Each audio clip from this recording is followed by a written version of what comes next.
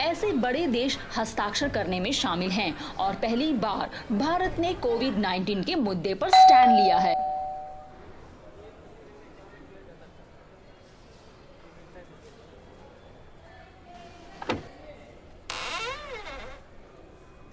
अरे आइए नमस्ते आइए। नमस्ते नमस्ते। और विश्वास राव? सब ठीक है? आइए। लो हाथ सैनिटाइज कर लो। अरे बस यार बस। अरे ये क्या है भाई?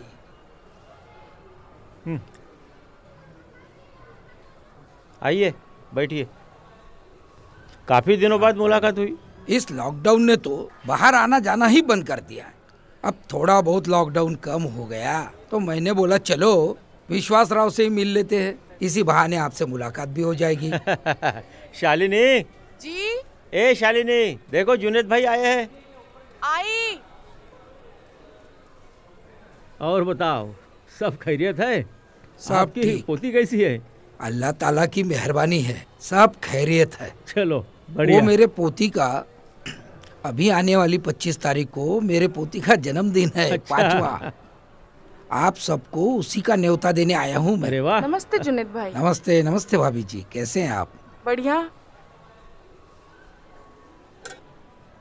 और भाभी जी आपको सभी को आना है? हम्म हम्म हम्म। पूरे परिवार के साथ में आना है आपको? प्रिया बेटी कहाँ है? नज़र नहीं आ रही? वो ट्यूशन जाने की तैयारी कर रही है। अच्छा अच्छा। आप घर पर भी मास्क लगाते हैं? कितना डरते हैं आप कोरोना से। अरे ऐसे तो कई कोरोना आए और कई कोरोना चले गए। अरे कुछ नहीं होता इस कोरोना से।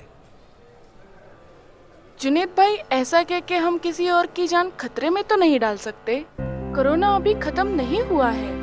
अभी शायद और बढ़ रहा है। मैं समझा नहीं भाभी जी। आप क्या कह रही है? कोरोना और बढ़ रहा है? कैसे? देखो मैं समझाता हूँ। आज भी हम इस कोरोना के चपेट से बाहर नहीं निकले।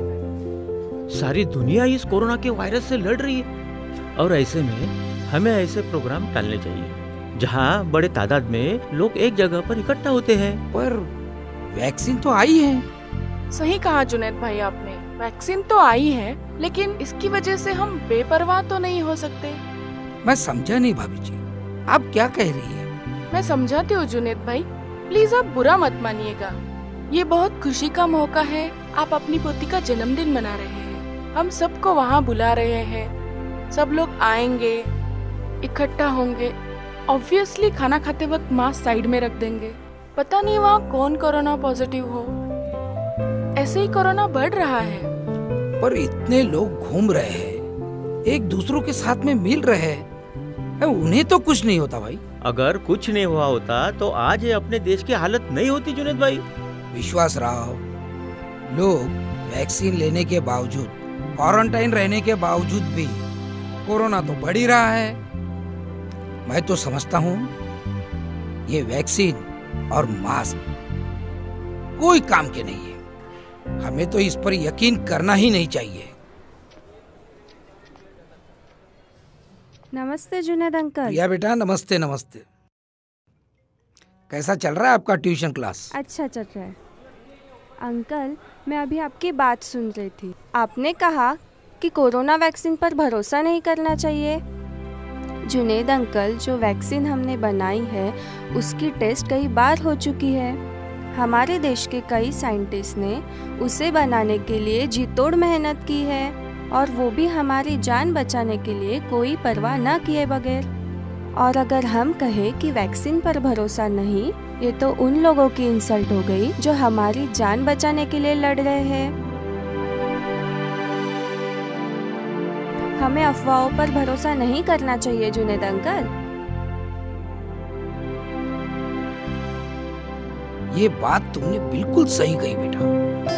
आखिर ये सब लोग हमारे लिए तो कर रहे हैं कुछ ज़िम्मेदारी हमारी भी है। तुमने मेरी ज़िम्मेदारी का मुझे एहसास दिलाकर बहुत बड़ा एहसान किया है बेटा। अंकल हमें अगर कोरोना को हराना है तो हमें गवर्नमेंट के सब रूल फॉलो करने होंगे।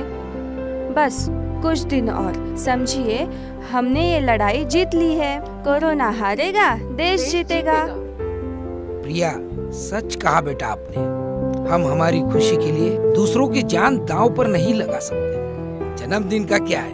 क्यों विश्वास राव अरे पांचवा नहीं तो छठा मना बिल्कुल लेंगे। मनाएँगे और बड़े धूमधाम से मनाएँगे। बिल्कुल मनाएँगे। सही बात है।